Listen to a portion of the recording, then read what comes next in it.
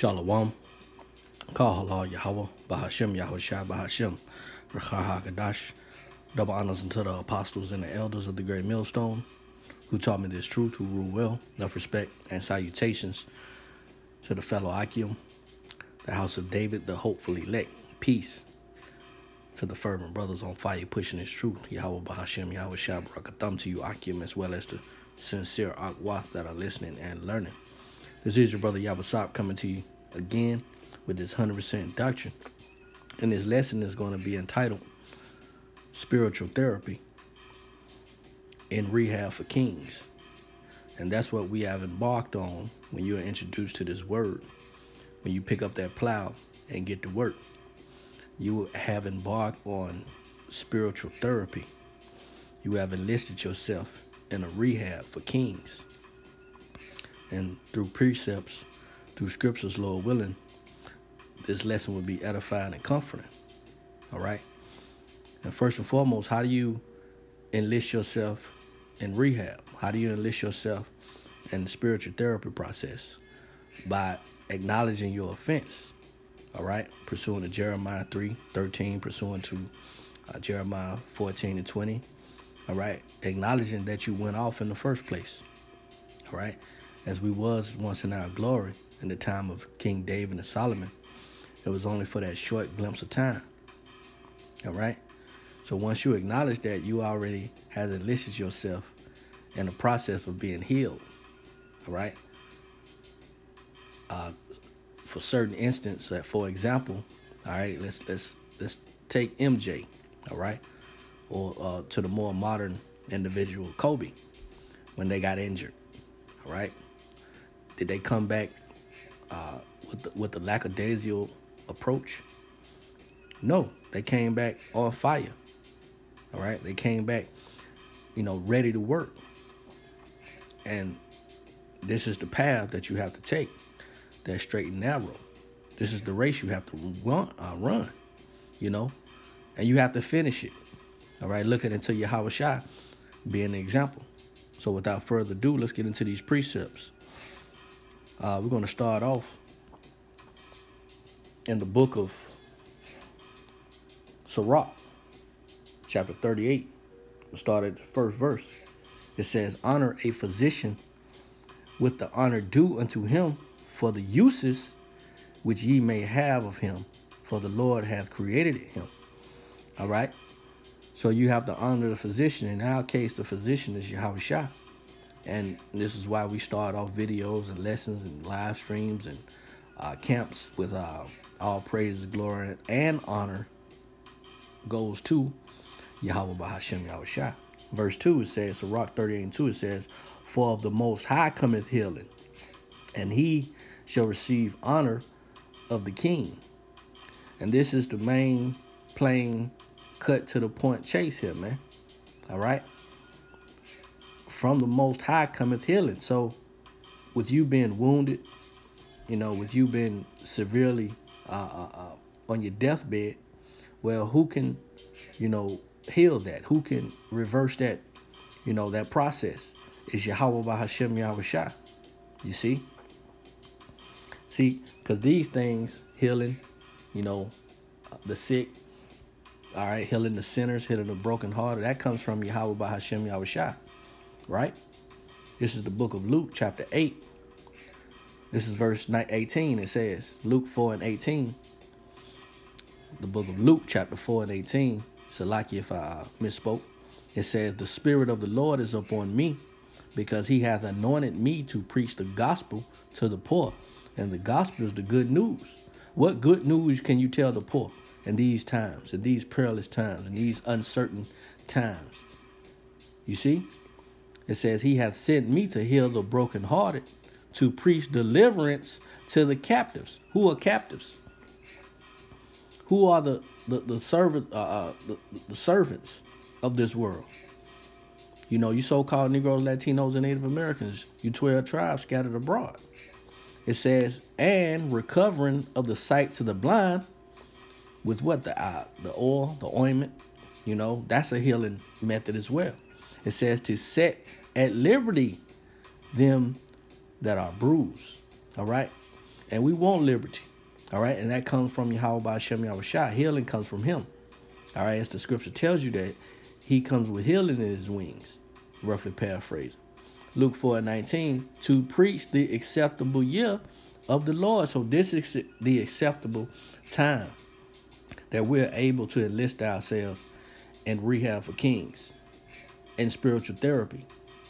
All right. And those of us that have embarked on that journey, all right, the Lord is healing us, you know, through the Spirit.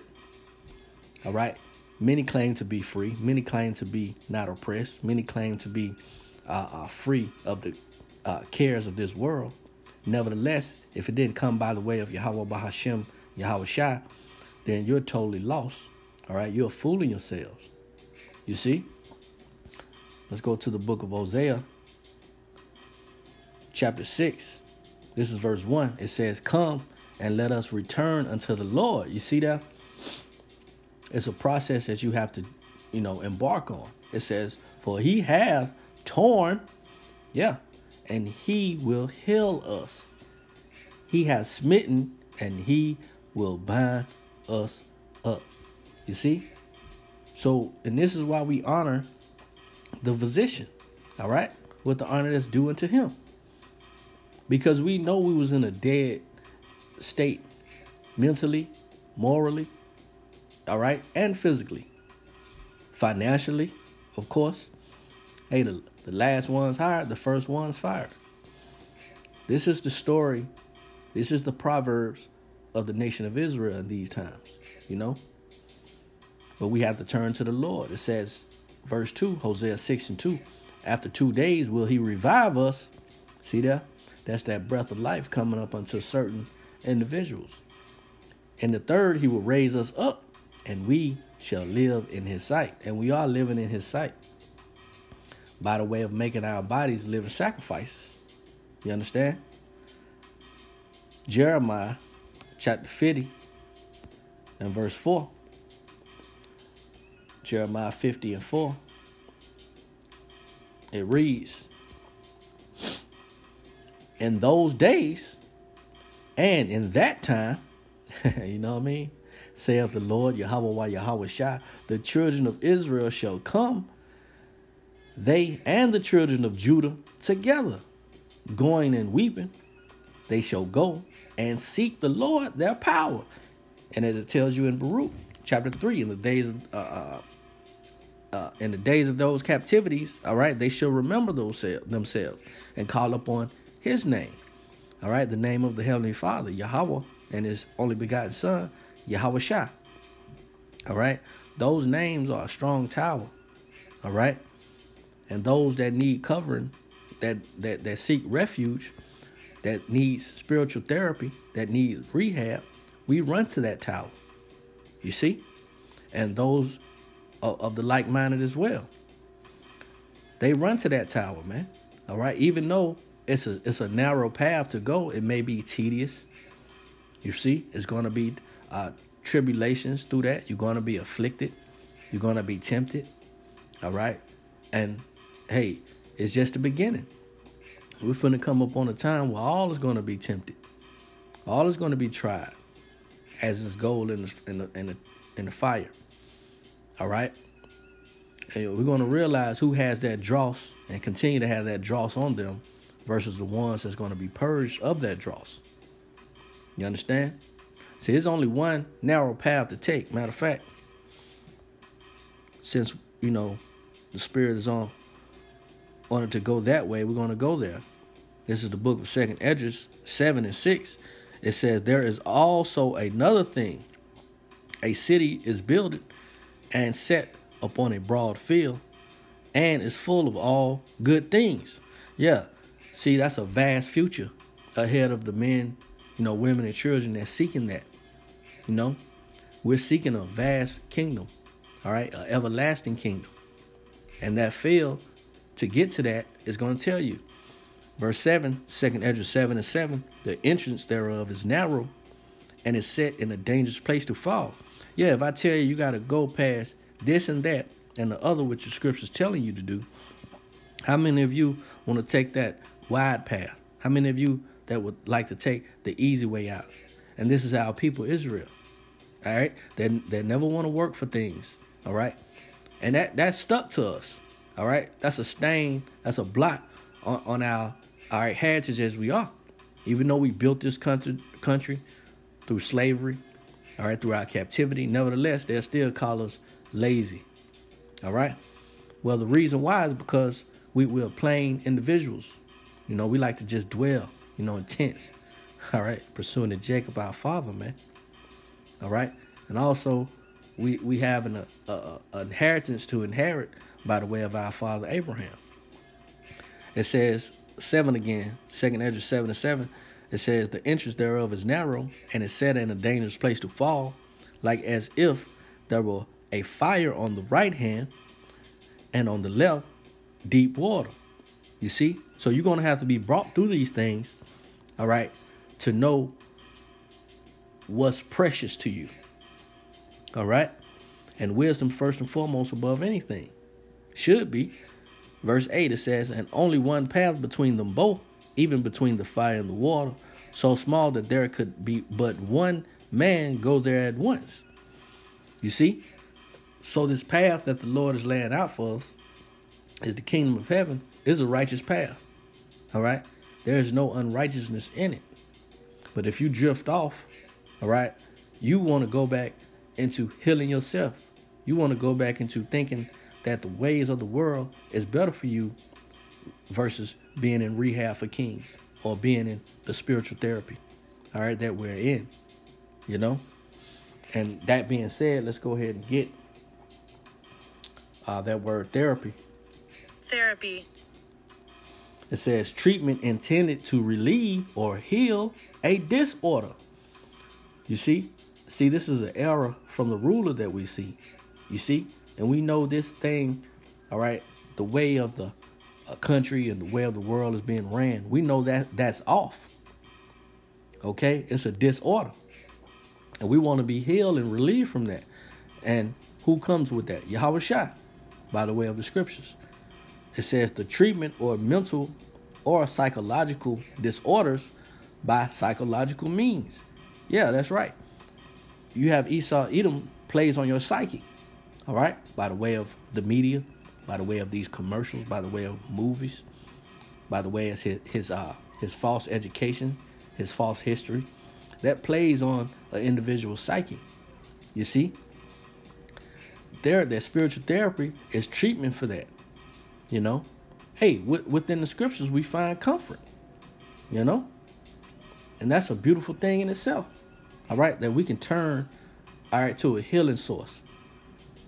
You know, who who, what other nation you know of has that, you know, that that uh, uh word I'm looking for, have that privilege. You know. Hey, no other nation has that privilege to turn to a healing source when the when the world is being broken down and destroyed, also the inhabitants thereof. Who has that privilege other but Israel? You know I'm talking about. So from now we're going to go to the book of Hebrews. Uh, this is the book of Hebrews, chapter 12. This is verse 1. It says, Wherefore, seeing we are all uh, also are compassed about with so great a cloud of witnesses, let us lay aside every weight. Yeah, that's right. We we we have uh, you know things that we need to take care of. You see, we have uh, uh, obligations. You know, we have you know duties to accomplish. Right. Nevertheless, we have to lay aside that weight, that burden. You know why? Because it's a better, you know, vast future for us by the way of this spiritual therapy, man.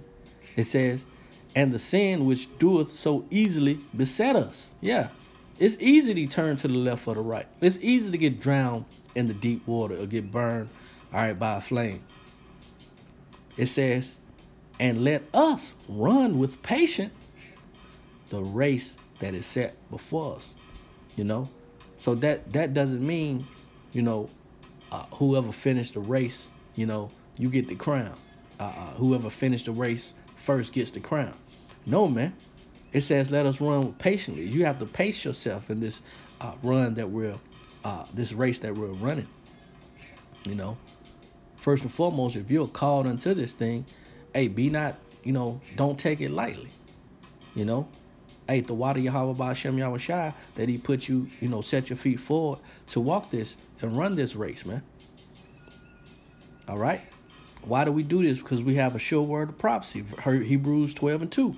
Looking unto Yahawashi, the author and finisher of our faith, who for the joy that was set before him endured the cross. So we have something that's set before us. All right, a city that is built on a broad. Man, don't you see what's coming? Don't you see what's about to take place? All right, the ushering in of Yahweh Shem Yahushai's kingdom, man. All right, and you just by, you know, trying to endure and having your name in the hat to be uh, worthy and be counted uh, for mercy in the day of wrath, to have your name written in the book of life. That's what all is jockeying for positions for. You know? But it's only one nation, and out of that nation, only a remnant of people of that nation is going to get chosen, which is already chosen. It says, "Who for joy, who who for the joy that was set before him endured the cross, despising the shame, and is set down at the right hand of the throne of the Most High." See, in that Hebrews 12 and 2 is so much compacted into one scripture.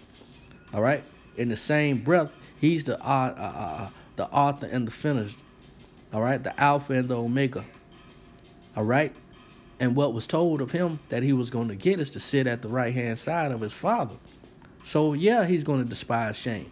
A real, true man of the word is going to do the business of his fathers, you know, and, and finish the path, finish the race. All right. And how do we get finished the race if we don't get uh, bounded up, binded up? We don't get the ointment. We don't get the eye salve. We don't take the oil with our lamps. You know, how are you going to finish this race if, if you don't go through spiritual therapy, if you don't go through the rehab for kings? You're not going to be able to. All right? It's impossible. Look that word up. So from there, we're going to go to the book of Second Corinthians, chapter 7 and verse 1. It has it says, having therefore these promises. What's the promise, man? You know, first of all, to be delivered and to be joint heirs with Yahweh Ba'Shem Yahushai, man. Hey, what more do you want out of this this place, man? What more do you got to work for? What more goals do you got to accomplish in Babylon the Great? Why won't you go down that narrow path? That, you know, when you behind one man, if he step aside because of rock there, you're supposed to do the same. It's all about order, man. It says, having therefore these promises, all right, Second Corinthians 7 and 1. Having therefore these promises, dearly beloved, let us cleanse ourselves from all filthiness of the flesh and spirit, perfecting holiness in the fear of the Most High, man. That's right. So we have to cleanse ourselves, man, mentally, all right, morally, and physically, man. You know, from the filthiness, man you know, perfecting holiness. I want to get that word holiness. Strong's G42, Hagiosune. Hagiosune. All right, and it reads uh, majesty, holiness, moral purity. So a simple Google definition of moral, it says ethical, virtuous, concerned with the principles of right and wrong behavior and the goodness or bad of human character, concerned with or derived from the code interpersonal behavior that is considered right or acceptable in a particular society. So, what you people seem to be right and what you people seem to be ethical, all right, that doesn't fly over here in the nation of Israel, man. All right? And this is why we're going to have to rule with the rod of iron. Again, Second Corinthians 7 and 1. Having therefore these promises, dearly beloved, let us cleanse ourselves from all filthiness of the flesh and spirit, perfecting holiness in the fear of the Most High. Discerning what's good, discerning what's bad, discerning what's evil for you, and staying away from that. All right? These things perfect holiness, and therefore, by doing this, by cleansing yourself from the filthiness of the flesh and the spirit, you are therefore entered into spiritual therapy and the rehab for kings. All right? Without going through that path, without going through those uh, uh, purging moments where you where you purge away your dross, you know, how can you inherit a kingdom that is set for a king? Come on, man. Hebrews chapter 4 and verse 1. Let us therefore fear. See, top eight, going back to the to the prime. you know, it says, least a promise being left us of entering into his rest, any of you should seem to come short of it. So the least common denominator, which is the biggest, if you can receive it, is fearing the Lord. You can't make this stuff up. All right? Acknowledge who you are, acknowledge your offenses. All right? Turn back, purge away, you know, these things from the flesh, from the spiritual uh, aspect of it. All right? Stop thinking vain things. Put away uh, uh, your heavy burdens, the weightier things, you know, that you should be concerned about. Hey, hasten the coming of the Lord and Savior, Yahweh Shem Yahushua.